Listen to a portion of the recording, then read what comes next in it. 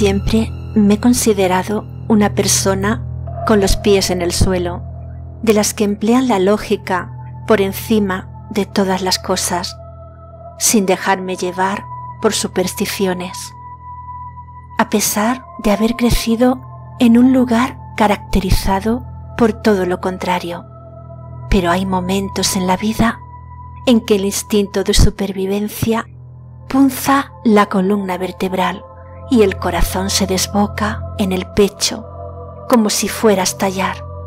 ¿No has sentido alguna vez esa sensación? En esos momentos comprendes que la razón no sirve de nada, porque algo terrible, carente de toda lógica, está a punto de suceder. Los vellos se erizan en la piel y en las entrañas se retuerce el terror. Entenderás de lo que estoy hablando a medida que esta historia avance. Querido diario, hoy es mi cumpleaños. Acabo de cumplir seis años.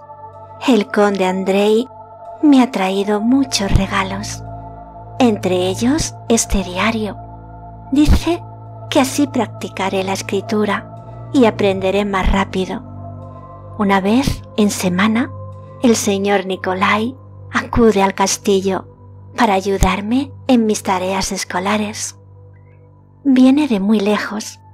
Siempre que oscurece, le entran las prisas por marchar.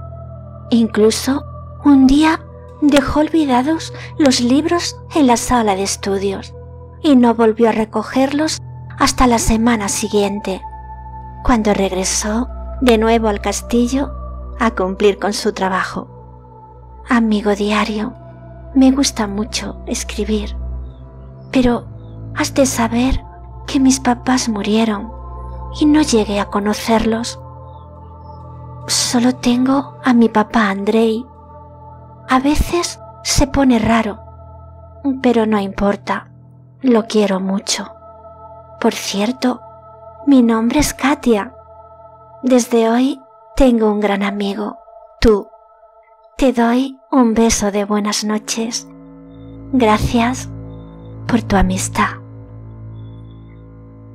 Brumas, capítulo primero. Autora Tintero Creativo. 4 de enero del 2013, España.